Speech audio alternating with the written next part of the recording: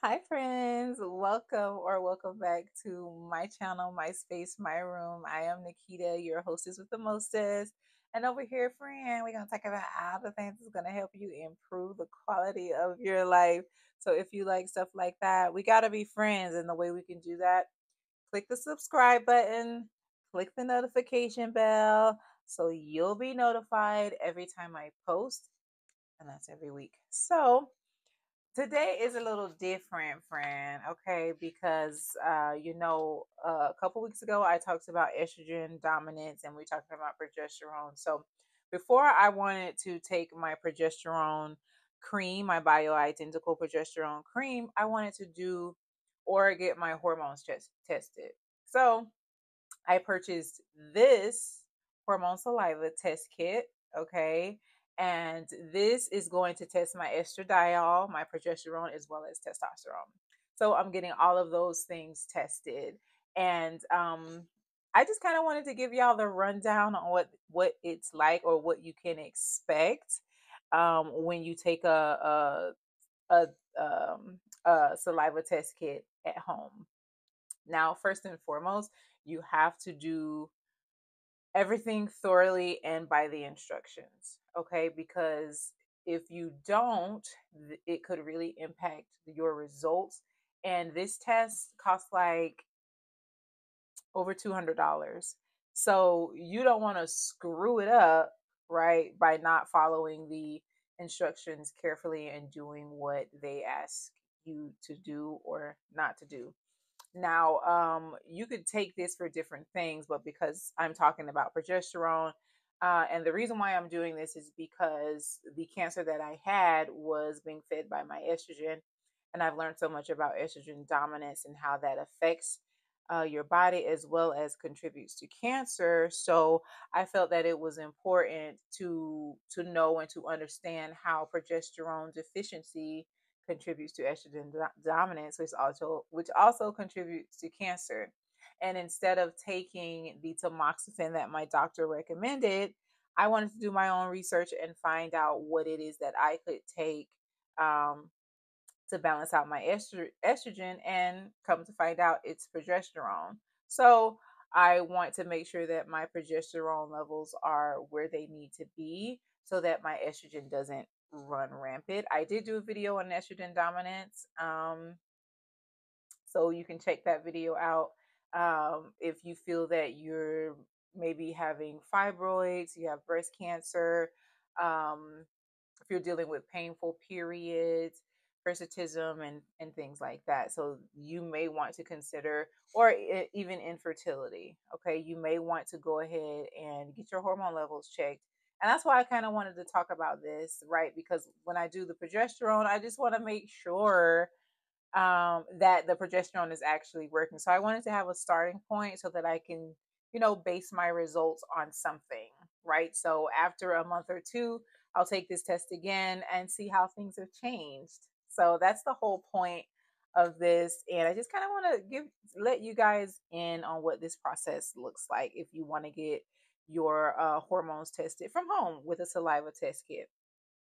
So um, I chose a saliva test kit because through some reading that I did, it turns out that a lot of the progesterone that you that needs to be tested um, needs to come from the tissues, right? So if you get a blood test that uh, tests that tests progesterone, you may not get or may not be able to read the progesterone that's actually in your tissues. So doing a saliva test kit would do that, and that's a more, um, I guess that's that's just like the better results, right? So you'll it's more accurate when you do it with saliva. So uh, based on the book that I read, that's why I chose the saliva test kit and not getting it uh, tested by my blood. So just keep that in mind. Um, the books that I read regarding estrogen dominance and progesterone deficiency are linked below, so you can support me that way. Why would you want to support me, friends? Support me. I'm supporting you. But anyways, that's my Amazon store. So, um, getting your hormone, your estradiol, progesterone, and testosterone in the kit, you'll get this. And I'm gonna just blank that out because that's like That's for me, right? I don't need nobody trying to know what's going on with me. That's my business, okay? But you'll get this, which this this little barcode just indicates, you know, these tubes belong to this person. So that's it. But you get this, and then you get four tubes. You get a, a large tube, and then you get uh, three small tubes. Now you have to fill these tubes halfway. Y'all, you got to spit. You got to spit a lot. Like it takes it, it took me between 30 to 45 minutes to fill fill those test tubes up halfway. Like I'm not even kidding. But in the kit, that's what you get. You get the four tubes, and then you also get uh, these little labels so you can uh, label them, write your name, the date, uh, your name, date, uh, and time of the collection. Now, these are the instructions. You have to make sure that you follow the instructions. Like, because if my test kit isn't able or if my test kit has like been affected and it's you know my results are affected because I didn't do something right, I'm to be pissed because I made sure that I follow this accurately. Now, if you're getting your hormones tested right and you're menstruating, well, let's start with non-menstruating. If you're non-menstruating and you're getting your hormones tested, maybe you're um, in menopause or postmenopausal and you no longer have a cycle or you may be dealing with like prolonged periods where you don't typically have a cycle at all. Um, so if that's you and you're non-menstruating you can actually take this test at any time of the month.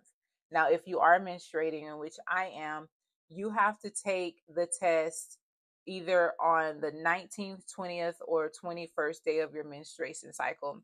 Day one is the first day of your actual period. Now, I probably had this test for like a month because I had to wait. My the time had passed and I like I said, I don't want I don't want to mess up my lab results. So I just decided to wait until the next month when it was day 19, 20 or 21 and that's actually that was actually yesterday. So I literally just did this test.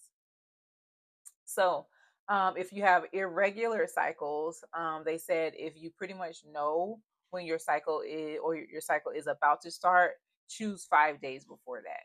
So before you do this, you kind of want to have an idea of when your cycle starts so you can count the days. Um, so that's like the most important thing that you're taking the um, the samples of your saliva on the right day, right? Because at different times, um, your hormones are released, right? So that's why you want to make sure you follow the instructions there. Now, um, when you take the test or you or when you you put the spit in the tubes, you have to clean the tubes out with hot water.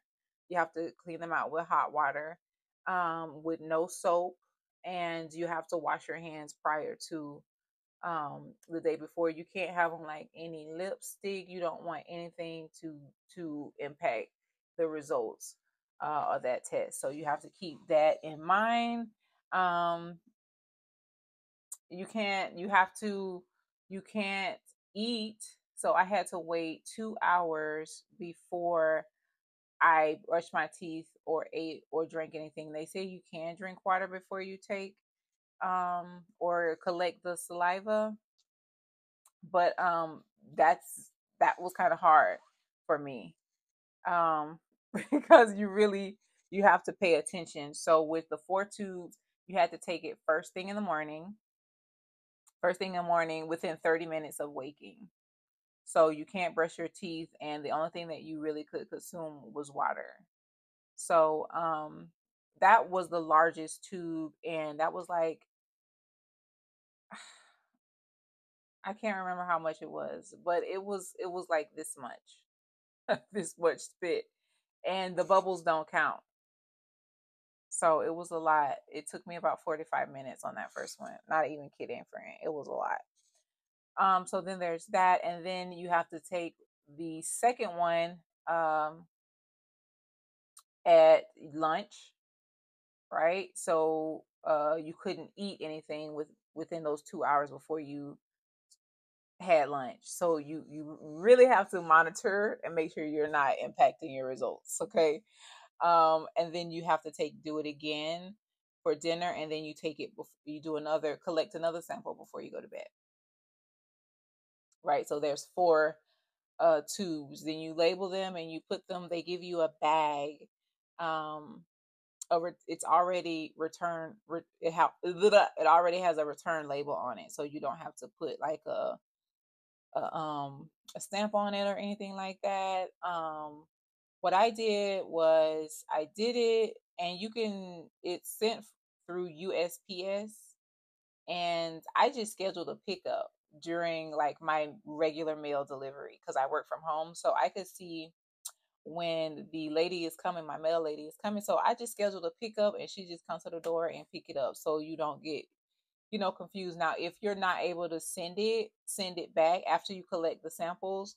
If you're not sending it within 24 hours, you have to freeze it. They said that it, it won't affect it, affect anything. So you just have to keep that in mind. So I did it the next day. So it was within that 24 hour period. Now, the first thing that you do have to do, I don't know why I didn't say this first, was um, the first thing you have to do is register it. So you have to log on and register your kit. Otherwise, you doing it for nothing, friend. You doing it for nothing. And that's pretty much it. So I'm I'm excited. They said that the results come back in like 10 days, 7 to 10 days. So I'm super excited.